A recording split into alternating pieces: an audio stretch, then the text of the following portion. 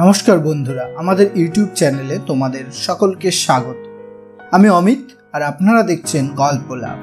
গল্প যা আপনার জ্ঞানের ভাণ্ডারকে সমৃদ্ধ করে তোলে। আজকে আমরা তোমাদের জন্য নিয়ে এসেছি একটি ভিন্ন স্বাদের গল্প। চলুন তাহলে শুনে নেওয়া যাক আজকের গল্পটি। ঈশ্বরচন্দ্র বিদ্যাসাগরের হাঁপানি ছিল। শীতকালে বাড়ত।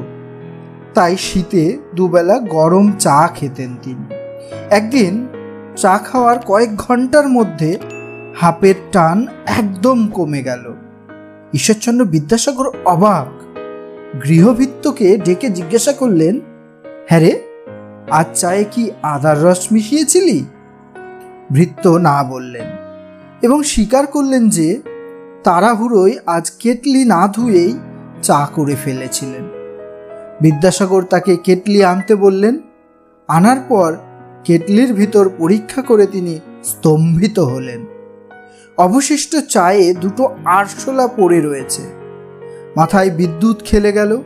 আরশোলা বেশি জলে সেদ্ধ করার পর তাকে অ্যালকোহলে ফেলে ছেঁকে ডাইলিউট করে হোমিওপ্যাথির মতে ওষুধ বানিয়ে নিজে ও অন্যদের দিয়ে পরীক্ষা করে দেখলে কেমন হয়। তাতে হাঁপানি, সর্দি, সারে কি না? লোককে না জানালেই হলো ওষুধে কি আছে? ভাবনাকে কাজে পরিণত করতে দেরি করেননি।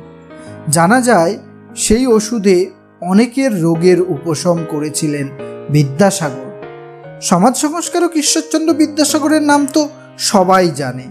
কিন্তু হাঁপানির ওষুধ ব্লাটা ওরিয়েন্টালিস এর আবিষ্কর্তা পণ্ডিত ঈশ্বরচন্দ্র বিদ্যাসাগরের নাম কতজন জানে? নামি দামি ডিগ্রিধারী ডাক্তারদের পাশে মেটিরিয়া মেডিকায় এই ওষুধের প্রথম প্রয়োগকর্তা হিসেবে নাম আছে পণ্ডিত ঈশ্বরচন্দ্র বিদ্যাসাগর। আমাদের আজকের এই ভিডিওটি তোমাদের কেমন লাগল তা কমেন্ট করে জানাতে ভুলো না। এবং হ্যাঁ আমাদের চ্যানেলে যদি নতুন হয়ে থাকো, তাহলে অবশ্যই চ্যানেলটিকে সাবস্ক্রাইব করে আমাদের উৎসাহিত করো আরও এরকম ভিডিও তোমাদের সামনে তুলে ধরার জন্য।